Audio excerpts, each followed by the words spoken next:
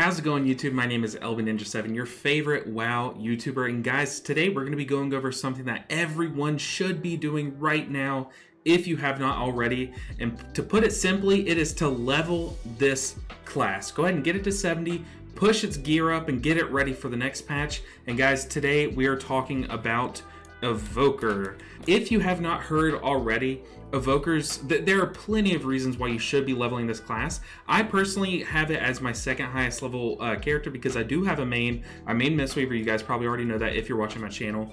But if you have not leveled this class, there are so many reasons to level it, and that's what we're going to be going over today. And first up, we're going to be talking about the biggest change that's coming, and that is a new spec. So they are actually getting a third spec. It's very unique in the sense that it is a DPS spec, but it's kind of a support playstyle. So they're going to be augmenting your allies, hence the name Augmentation uh, Evoker. But how they do that is they're going to be buffing your allies for them to do more damage. And then they have some very cool spells that this page goes over. Um, one of them is instead of flying, so let's let's show you what the the normal one looks like. This you fly over and you do a set amount of damage. Instead of that, they're going to fly over and apply a, a, little kind of like a debuff to everyone in that area.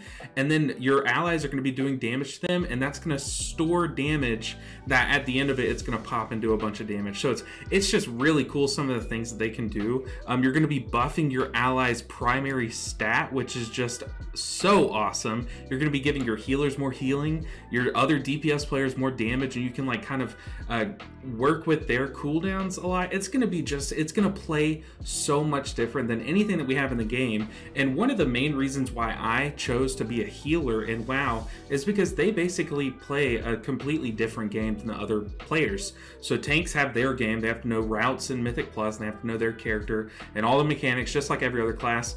But uh, DPS players, they kind of just sit there and do DPS dodge mechanics, whereas healers do healing dodge mechanics, but instead of having to know how to do their, their class the best, they also have to know how to um, heal boss mechanics. So when a boss does their damage, they have to do their healing. So it's kind of like a different way to look at a, a, fight. You kind of look at the fight upside down in a way. So that's why I like healing. Well, this is a totally different way to look at things. You're going to be looking at your, your teammates' cooldowns. Uh, normally, when you would be pressing your damage cooldowns, you're going to be pressing buttons that give them more damage, let them pump more damage, then it's going to pop and let you do more damage. So it's just going to be a ton of fun, and everyone's you're not going to want to not have an evoker leveled ready for this class to hit live. So make sure you guys are doing that. But let's go and go over some of the other reasons on top of these, and then also read these abilities. I'm sorry, really quick. This is just awesome. Conjure a pair of Weyrnstones.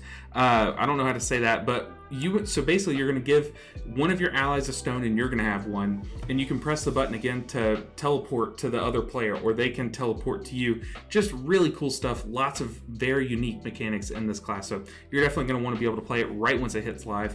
But next up it is just the newest class to play. So the best part about playing the newest class is that you're going to get the most fresh content. So the story is all about your class. So you can kind of immerse yourself in it a little bit more but more importantly the gameplay is going to shift shift a lot more. So uh, the WoW developers are, are still trying to look for identities for your class to fill, and that's why we saw the Devastation Evoker kind of get a little rework recently. That we've seen so many big playstyle shifts in the the Preservation Evoker uh, playstyle and you're just going to see a lot of that a lot of adapting a lot of moving and just a lot of changing and that's just fun it keeps your class fresh so it's always just a good option to play the most recent one i know it's kind of uh, you're kind of suckering into doing what everyone else is doing but if you don't play this currently now would be a good time to have this class level just in case you enjoy it and want to play it in the next expansion or in the next patch uh, and then next up is both the current specs are actually really good right now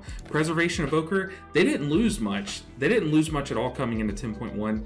They aren't at the top of the healing charts, but they provide a lot of utility in a raid, and their their uh, how they do their healing lines up very well with how the bosses do their damage, uh, since they do a lot of, of healing based on how much damage your your group has taken recently, and that works really good with the bursty bursty nature of this raid. So preservation is in a great spot, and then not to mention their their mythic plus the utility is just insane. They have so much. They have lust. They have so much mobility. They just do so much healing. A good tank support, a good tank defensive. So they're a great option. Do good damage. And then Devastation Evoker just does so much damage, very simple rotation, very fun to play. It's just very thematic and it's just a great class to have, but also it's just performing very well right now in both Raid and Mythic Plus. Next up is you actually have a legendary. Now you can't see it in the dungeon journal, um, because you get it from killing Scale Commander Sarkareth, but you actually get a quest item that drops uh, whenever you kill her, uh, if you're lucky. But let's see, I actually have it pulled up. So, so Evokers are the only class right now that has a legendary, to my knowledge, and it's a very good one. And you'll notice it also screams Augmentation Evoker. So how it works is your empower spells, which if you haven't played Evoker, you you have a couple spells that you can charge up to make stronger.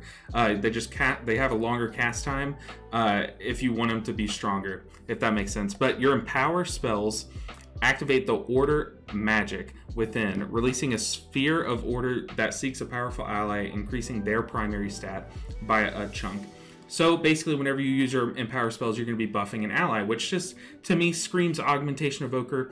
So you're going to want to and, and you're going to want to go ahead and start gearing up that Evoker right now, so you can start grinding for this item because it is so strong and it's going to be so good for when the new spec comes out.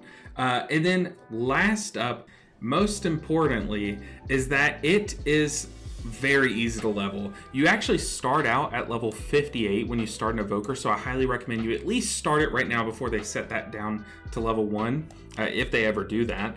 But you basically only have to level it for 12 levels, so it's very quick and easy.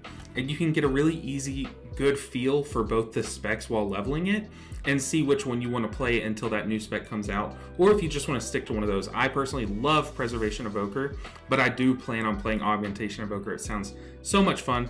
But like I said, it's very quick and easy to level. So if you have not done that already, now's the time to jump on that. And leveling right now is so, so easy, very quick to do. So now would be the time. So that's going to do it for this video. It was just a quick one, just a little word of advice that I haven't heard anyone talking about recently. We know that there's a new Evoker spec coming out, but I guess all the other YouTubers kind of assume that you've already got one leveled, or maybe you guys just wanted a reason to play your Evoker, and this is a big reason. So go ahead and start gearing it up.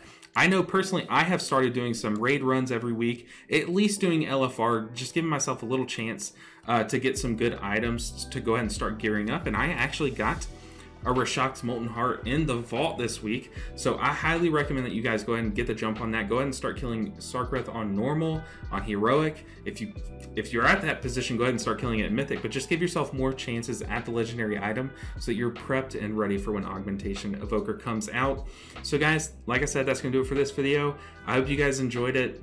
Very different from my other content, but I just thought this was something that had to be said and um, just some good advice for you guys. So thank you guys so much for watching. If you're part of a uh, part of my channel already, I really appreciate you guys sticking around for this one because it is so different than what I, I usually make. But if not, consider subscribing. I am a small YouTuber, just trying to make it out here, just trying to make some good Mistweaver content for my fellow Mistweaver players. And I really appreciate all the support that you guys give me. So make sure you guys hit like on your way out. It really helps me know if you guys like this style of video, if you want me to give you more of my words of advice uh, like this, um, but then also just make sure you comment down below what you guys are looking forward to if you're if you're excited about the new augmentation spec or if you just like playing your evoker currently because I've been having a lot more fun playing it than I had in the past. So thank you guys so much once again for all the support and I will see you guys in the next video. Take care.